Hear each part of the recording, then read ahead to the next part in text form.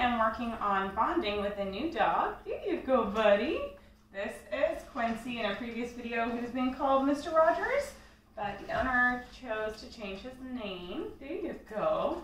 So he has some separation anxiety, and so I'm working on bonding with him both so that he has another person that he can bond to. Hi, and also so I can work with him even when his mom's not there. There you go. And this is great for anytime you adopt a new dog to bond with them um, or a new puppy. And hi, hello. And so what I'm doing is I'm starting off with just hand feeding. And you can also do it with their name to help them learn their name. Quincy. What a good boy. Quincy. What a good boy. Quincy. In the beginning, I'm just going to plain feed it. Then I might start moving my hand around. Quincy. Quincy. I'm going to say the name and then move with the food. Oh, did it fall? I don't think there are any crumbs. Quincy. Quincy. Good job. Quincy. There. You can do it. Quincy. Good job. Quincy. And part of why I'm moving it around is to gauge his interest. Quincy. He has a very sensitive stomach, so he's actually working for um, for Cheerios. Quincy. Oh, oh, there you go. Quincy. Good job. Quincy. So again, moving my hand around kind of gauges his interest. There you go.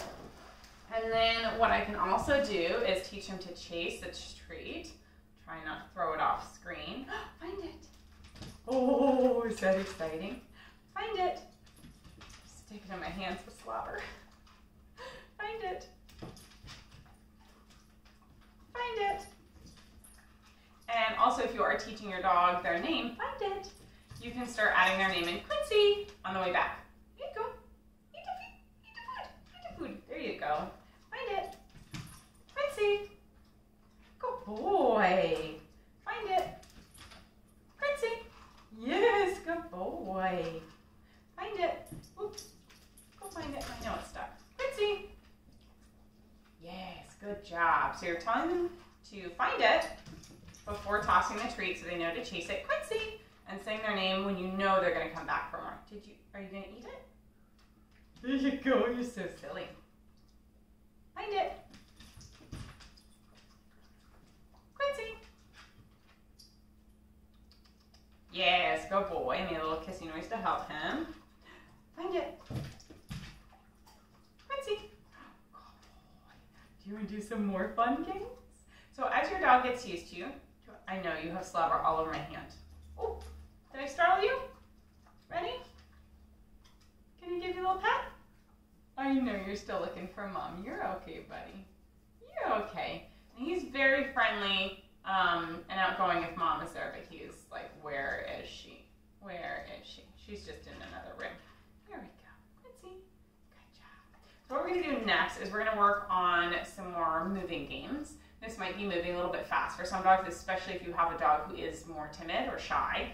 Um, you're going to have to go really slowly with this. But for some dogs, especially young puppies, this is a great way to get them moving around you and teach them to focus on the movement and getting the treat instead of biting. So it's super handy for nippy puppies. So I'm going to pour out some treats in my hands and I'm going to stand up. I'm probably going to be headless in this video. Uh, all right, I'll try and bend down a little bit so you can see me if I find it. Oh. So slobbery, it's stuck to my hands. Oh, are you ready? Find it. So I'm just gonna kind of toss treats around me. Find it. I'll throw it behind me. Find it. Good job. Can you in front? Find it. There we go. Find it. Oh, there it is. Find it. Oh, get it behind me. Good job. Now let's see if he'll do it between my legs. Ready? Find it. Oh, you went around. That's okay. You it this? Find it. Oh, good job. Find it. And this can really help build confidence around people. Find it.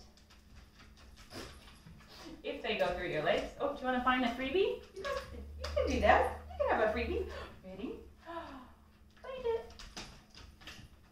Lindsay. Find it. There you go. Go boy. Ready? Find it. So as you can see, he's not super keen on going under my legs, and that's okay. I'm not going to make him. He can make the choice to go around. I didn't say he had to go under me. Hi, but it can make a fun game. Do you want to try another one? You want to try a couple more? I try a couple more. And as your dog gets more comfortable with you, or in this case, it's not that he's uncomfortable with me so much as he's uncomfortable with mom being missing, um, you can make a lot more games out of that, and that one can actually become a recall game. We can also work on walking over legs. Can you try it? You want to do it? Here, do you want to find it? You want to find it? Oh, good boy. And find it. There you go. Find it. Find it. Oh, good job, buddy. You ready? Find it. Find it. And if you have a dog who's timid, I actually wouldn't even ask if they're ready. I would wait for them to turn it. Oh, good boy, find it. To show me that they're ready for more. So here, I'll just be quiet. Oh, good boy, find it. Oh, what a good job. You're so brave.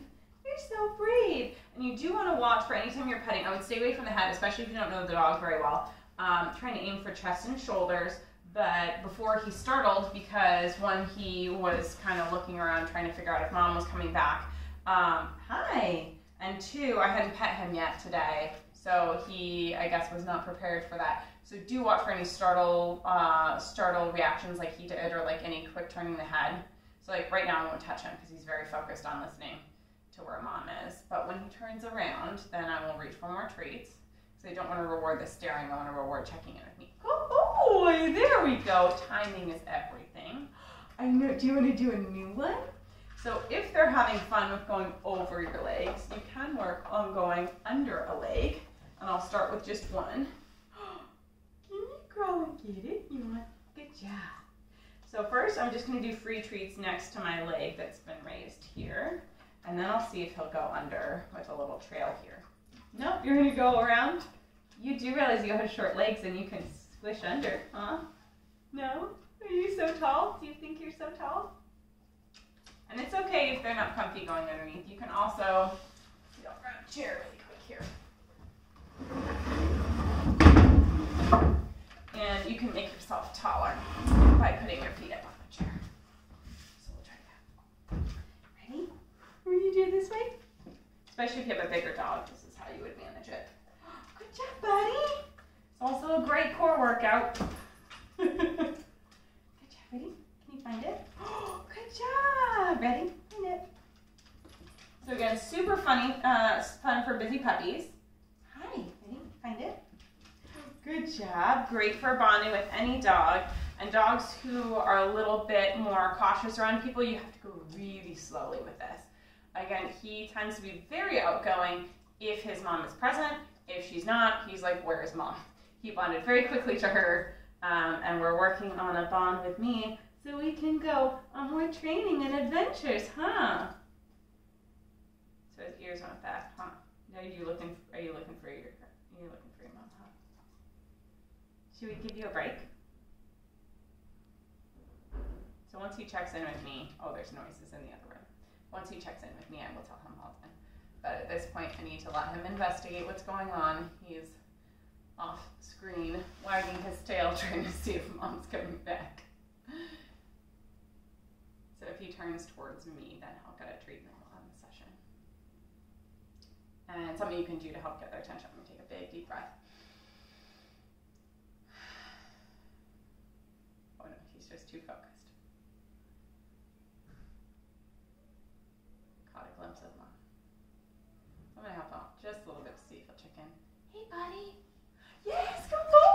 I didn't use his name because I had no idea if he was going to respond. He was so focused. I know. What a good boy you are. What a good boy. All right. All done. You're all done. Here you go, bud.